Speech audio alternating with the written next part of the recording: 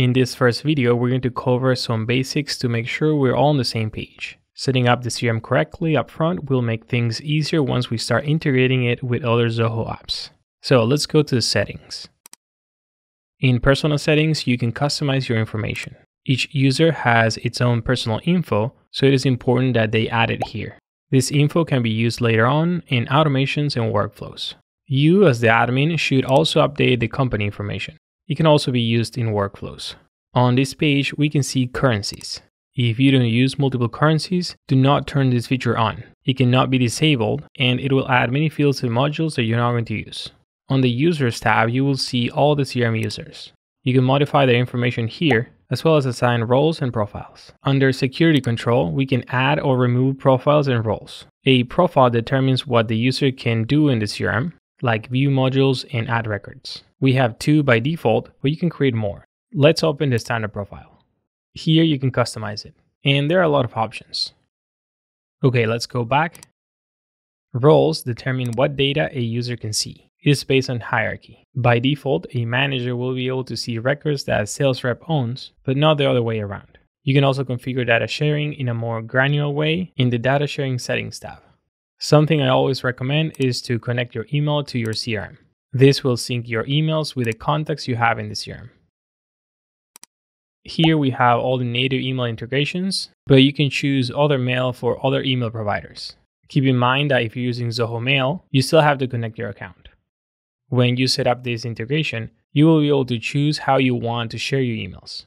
On the Email Sharing tab, you will be able to configure the email sharing settings for all users. Next, we have organization emails. These are emails that can be used by multiple users in your organization. For example, here we have info at blungo.co.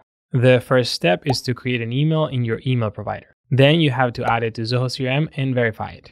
If you're planning to send emails from the CRM using your direct email or an organization email, it is important that you verify your domain. This is done on the Email Deliverability tab. We have a YouTube video that we will include in the description that goes over how to add the SPF and DKIM records to your domain. Let's go back to the email configuration. In this section, we can choose our default email address. It can be our own or an organization email. And below, you can set up signatures for your different email addresses. If you want to sync contact, Google and Microsoft have native support. Under Marketplace, you will find Google. After authentication, you will be able to configure what contacts you want to sync. Same for Microsoft. Just enable the contacts integration here. If you use Zoho Mail, you have to use the CRM widget in Zoho Mail, but it is not a two-way integration. You can access your CRM contacts from Mail. Another integration you can set up is the calendar integration we already have the Microsoft Calendar synced. Going back to the Google tab, you can find Calendar up top where you can set up the sync. For Zoho, you have to set up the sync from Zoho Calendar. You can also connect your telephone provider with the CRM if the integration already exists. You have to set this up in the Zoho One admin panel, but then you can access it from the CRM and many other Zoho apps. One of the most popular voice over IP providers is RingCentral, but Zoho works with many of them.